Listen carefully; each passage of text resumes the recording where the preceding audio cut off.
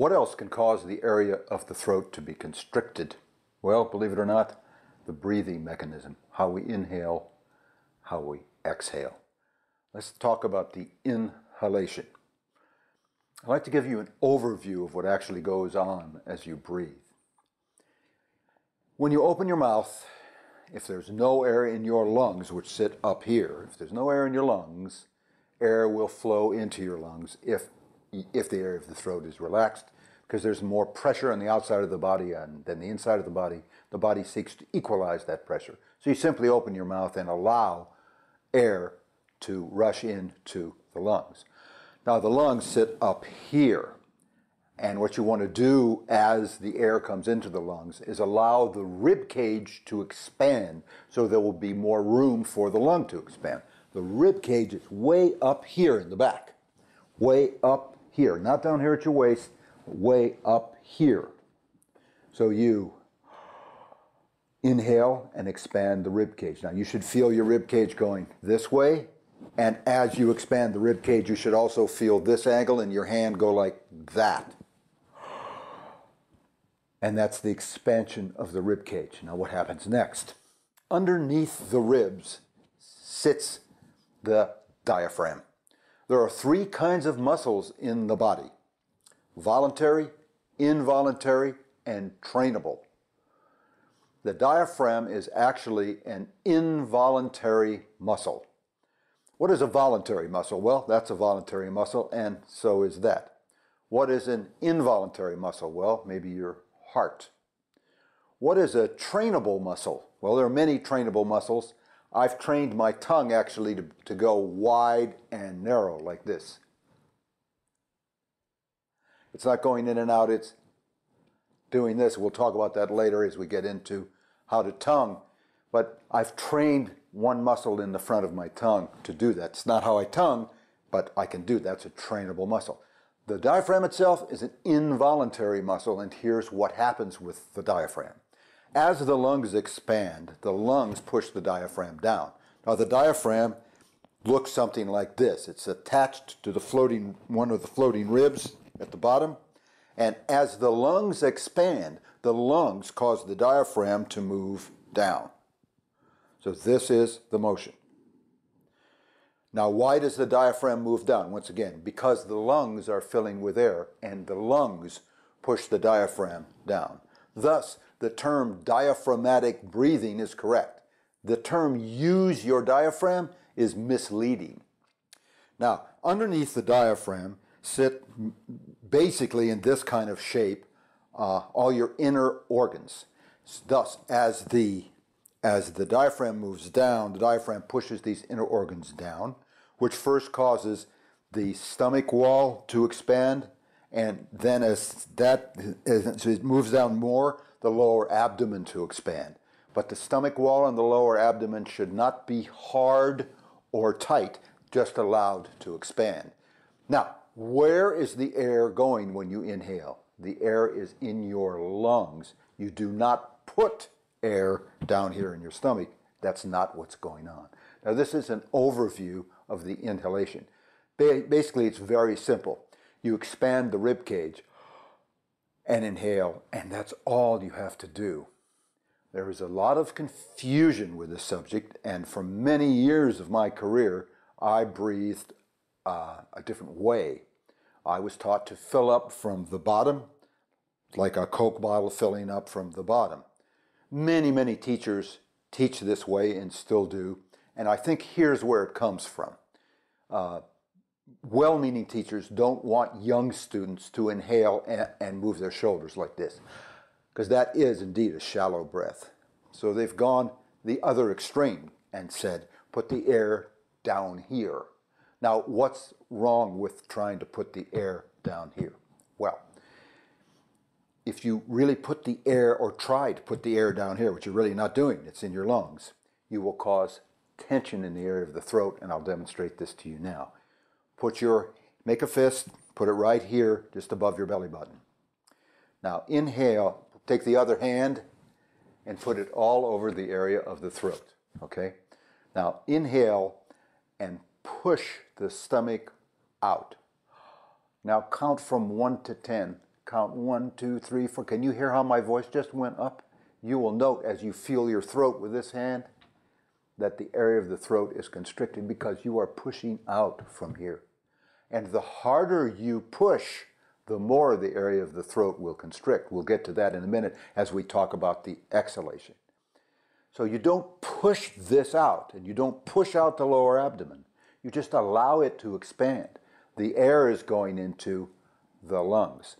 That's really all there is to it. The inhalation, and your eyes will get bigger, as mine are now, because that's how you feel. You can actually get high on air. It's a great feeling. Try it. That is the inhalation. If you've been breathing the other way for years and years, those of you that are advanced players, you will find that when you breathe this way, when you inhale this way, you will have between one third and 50% more air. Give it a shot. Feels great. That is the inhalation. It is that simple. Again, if you push out the stomach, or if you try to put the air down in the stomach or lower abdomen, you will constrict the area of the throat. And I'm going to say this once again the area of the throat should be relaxed and allowed to change. Now, that takes care of the inhalation. Let's, take, let's talk about the exhalation.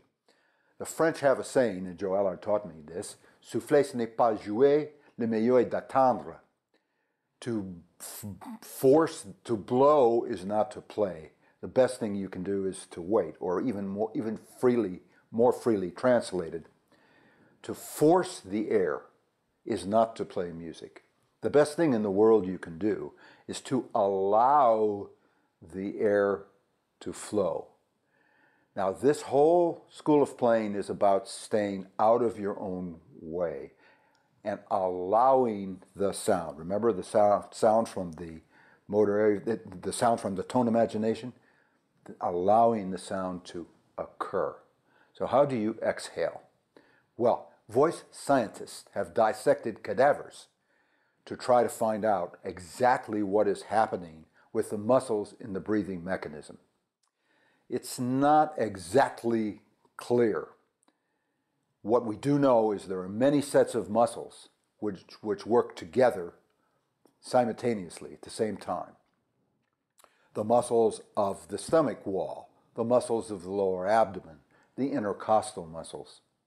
Basically, all you have to do when you play the saxophone is to listen and allow the air to flow. If you simply listen the motor area of the brain will take the tone imagination and tell the various breathing muscles what to do automatically and subconsciously. Let's see what happens when you consciously push with these muscles. So, once again, put your left hand all over the area of the throat. At the same time, make a fist with your right hand, put it on your stomach just above the belly button. Now, with the left hand on the area of the throat and the fist here above the belly button. I would like you to count from 1 to 10 and, uh, and observe what you feel. And as you count, I want you to push harder and harder on the stomach wall with your fist and push back with your stomach and see what you feel in the area of the throat. One, do with me. One, two, push harder. Three, four, five. I'm through. I can't even count anymore. As you push from here, this tightens. What's happening? Well, you have the trachea, that's the windpipe here. Of course, you have the lungs, and out of the lungs come two two lane highways of air, which merge into a one lane highway of air, the trachea. Okay? On top of the trachea, you have the glottis and the epiglottis, which when you cough and you look in the mirror, that little thing that moves, that's your epiglottis. When you push like that with the area of the stomach and the stomach muscles, either the glottis closes or the epiglottis closes. And it becomes harder to play. Why? Because the area of the throat, glottis, epiglottis, larynx, pharynx, trachea, all those parts of the throat are tense because you're pushing from here. So, how do you play? You simply listen and allow the motor area of the brain to take the tone imagination and send the commands to the various parts of your body, which respond automatically and subconsciously, like this.